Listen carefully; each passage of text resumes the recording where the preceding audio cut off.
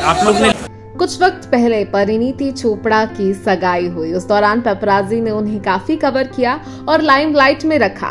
Social media पर इस वजह से परिणीति की काफ़ी चर्चा भी हुई थी। वही हाल ही में परिणीति जब एक खास जगह पहुँची तो पैप्स को देख वो काफ़ी ज़्यादा इरिटेटेड महसूस करने लगी।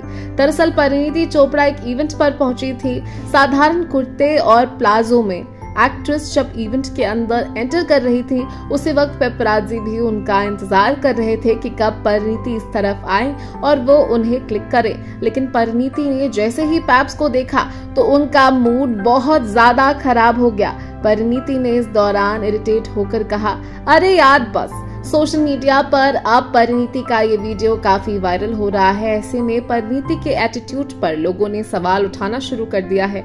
कई लोग इस दौरान परिणीति को घमंडी कहते हुए दिखे। तो किसी ने कहा कि वो बेवजह का इतना एटीट्यूड झाड़ रही हैं। तो किसी ने कहा, ऐसे सेलेब्स को कवर ही मत करो जो मुँह बनाए। देखते ही देखते परिणीति का ये वीडियो काफ़ी ज़्यादा चर्चा में हो गया है और लोग लगातार परिणीति चोपड़ा के एटीट्यूड के बारे में बात कर रहे हैं। इस इस वीडियो को देखकर आपके मन में क्या ख्याल आया, हमें कमेंट के माध्यम से ज़रूर बताइएगा। इसी के साथ सिनेमा से जुड़ी हर अपडेट के लिए मायापुरी कट को सब्सक्राइब करें।